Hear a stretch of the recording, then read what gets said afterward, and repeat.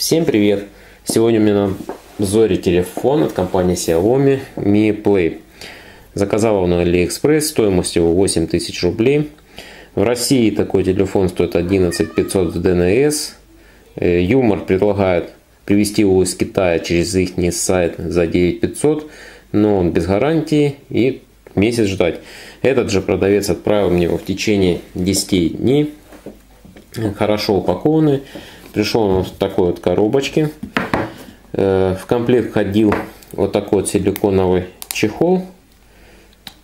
Я так думал, он идет ко всем телефонам, потому что он четко лежал там внутри, прям запакован в коробочку, в отдельную, вот в такую.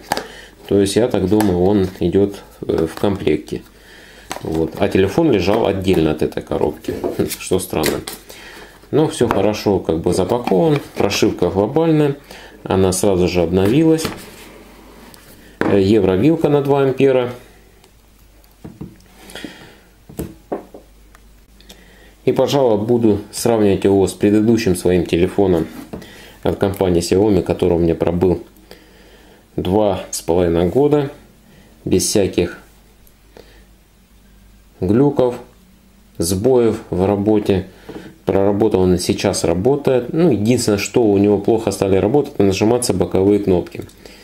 Вот через раз и звук, то есть нужно сильно жать, чтобы... Это, в принципе, болезнь у многих телефонов, не только эта компания, но и у других. Э, и вот сравнить я буду с ним, хотя это дешевая модель, но они умудряются сейчас даже э, удешевлять на новых моделях что здесь? Нету инфракрасного диода, который здесь, то есть программы э, пульта нету. Это, кстати, очень большой минус. Допустим, у меня здесь заложены все телевизоры в доме. Можно было управлять их с телефона. Э, нижний световой индикатор здесь на новом очень маленький, и он одного цвета белого. То есть Допустим, здесь я ставлю зеленый на смс, красный на пропущенный вызов, там, фиолетовый там, или еще какой-нибудь на событие в онлайн сети. Э, то есть сразу, если выключен телефон, видно, что какое событие там произошло. Нижние вот кнопки, как и во многих современных телефонах, вынесены на экран. Я считаю это тоже минусом.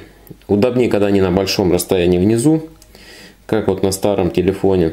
Здесь же толку с того, что большой экран, допустим, если внизу здесь кнопки, а верхняя, ну, как бы вот э, в камеру вделана, то есть здесь уведомления вверху уже не отображаются, им там некуда отображаться, как на старых моделях. Хотя ну, прошивки программного обеспечения на обоих стоит MIUI 10, здесь на Android 7, здесь на Android 8, но они абсолютно ничем не отличаются. Как видите, все летает, все здорово. Э, здесь же оперативной памяти 4 гигабайта, встроена 64. Конечно же, этого достаточно для повседневного онлайн-серфинга. Э, и выполнения каких-то задач, видеомонтажа, э, напечатать какой-то текст. Естественно, он с этим всем справится. Визуально, конечно же, Mi Play выглядит современно. Сзади у нас две спаренные камеры. Экран большой, как говорю, 5,85 дюймов. И стильно, что у него камера внутри, э, фронтальная камера внутри дисплея. Отпечатком пальцев я здесь не пользуюсь. Здесь он просто, что до касательств сзади, он просто разблокируется что, допустим, два раза нажать на экран тоже разблокируется. Дело в том, что нужно ставить, если стоит отпечаток пальца, еще какой-нибудь графический ключ или пароль, или там числовой код.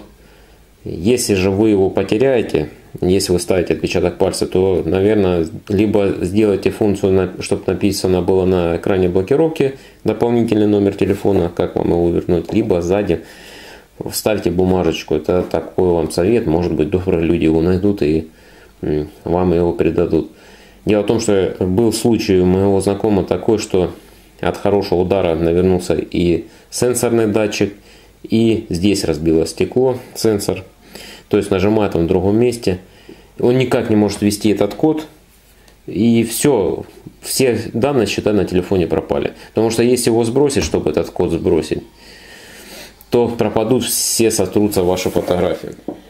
Синхронизировался он, этот телефон, э, с моими аккаунтами Xiaomi. То есть перенес все программы, даже те, которые оставил с FOPDA, сами понимаете, какие без доната, без рекламы. Э, и что хорошо, но на это ушло часа два. Так что готовьтесь, это очень долго, если синхронизация происходит. То есть вы настраиваете телефон не как новый, а как, допустим, со старого перенести на новый, то готовьтесь. Будет час обновляться, часа два ставить все эти программы. Камера. Я приложу, конечно, образцы в конце видео. Делает портреты, снимает видео Full HD. Единственный минус 30 кадров в секунду. Э, не способен он снимать 60 кадров, а хотелось бы. Но видео довольно-таки качественное. И плюс Здесь нормальный, наконец, динамик. Не знаю, вот на первых Xiaomi и он задушен фильтрами. То есть слышно только если близко разговаривать с ним. То, что происходит дальше, ничего не слышно практически. Все заглушено. Динамик расположен один внизу. Для симметрии тут, конечно, отверстие еще слева.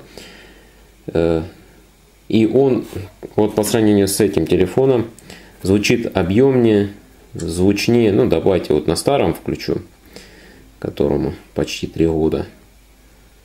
Коротенько. Сейчас музычку поставлю. Конечно, желательно ставить один и тот же трек. Но сейчас на все. Принципе, меня устраивает, как и здесь играл, но здесь играет немного лучше. Объемнее, так сказать, басисте.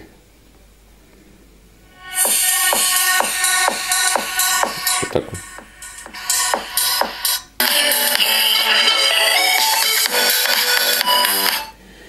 Здесь у нас слот под две нано сим карты, микрокарточку. Советую тоже ставить карточку памяти, допустим, кто-то скажет нормально 64 гигабайта. Но если что-то случится с телефоном, сломается, разобьется, вы хотя бы карточку с фотографиями и видео вытащите из него. Поэтому советую ставить ее отдельно. Игрушки все тянет, в принципе, там. Его попавшуюся скачал.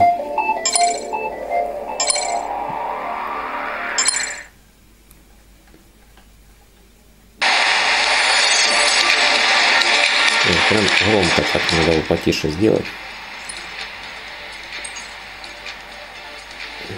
Что самое интересное, даже управление перенеслось с того телефона. Вот все настройки игр, все перенеслось.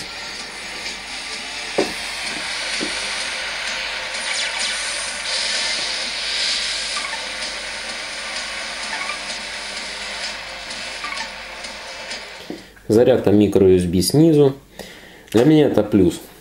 Почему? Потому что можно воспользоваться в машине, как в качестве навигатора, поставить, и чтобы провод не торчал сверху, а снизу уходил где-то в панель. Ну, сейчас приложу, конечно же, видео. Ссылки на этот телефон оставлю внизу. Сейчас я наклеил временно универсальное стекло, потому что не успел прийти стекла из Китая на него.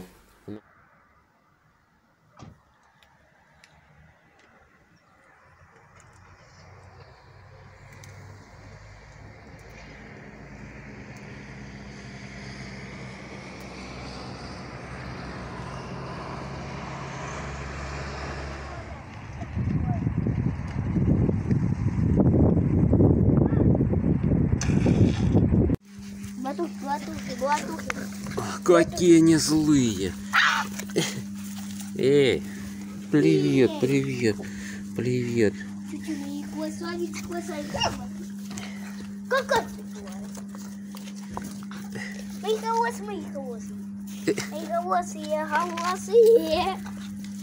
Все, идите, идите к маме. Быстро. Пока.